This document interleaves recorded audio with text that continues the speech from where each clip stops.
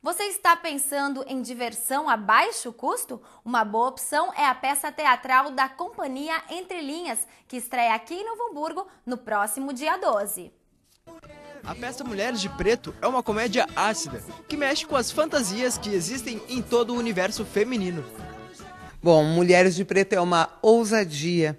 É, uh, partiu de um poema da da Cora Coralina, que eu li, que eu gostei muito, que fala sobre todas as mulheres que existem dentro de nós, né?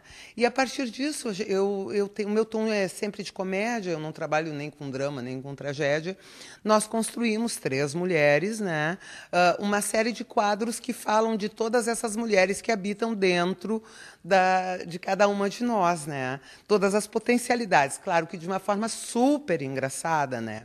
O espetáculo conta com três atrizes e tem duração de 50 minutos e pode ser considerado ousado para os padrões teatrais modernos.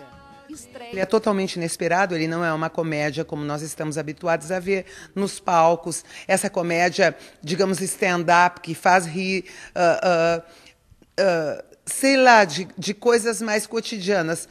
O nosso riso, homens, não é sobre vocês, é sobre nós mesmas. Né? Nós rimos da nossa própria potencialidade de fazer o bem e também fazer o mal. Para a diretora e atriz, que também é professora aqui da Fevale, fica o convite, especialmente para seus alunos e ex-alunos. E uma coisa bacana que eu acho que eu tenho que relatar é que eu, como professora da Fevale, eu sou professora do curso de artes visuais e dou as disciplinas de expressão cênica, enfim, uma série de coisas. Também coordeno o movimento teatral.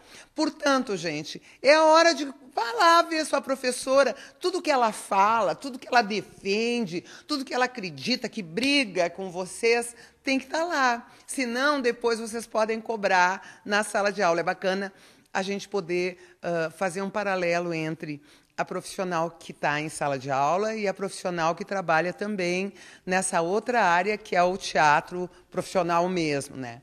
Quero convidar todos para virem assistir o espetáculo Mulheres de Preto no dia 12 de abril, às 20 horas e 30 minutos, no Centro Municipal de Cultura de Novo Hamburgo. Dia 12 de abril, uma quinta-feira.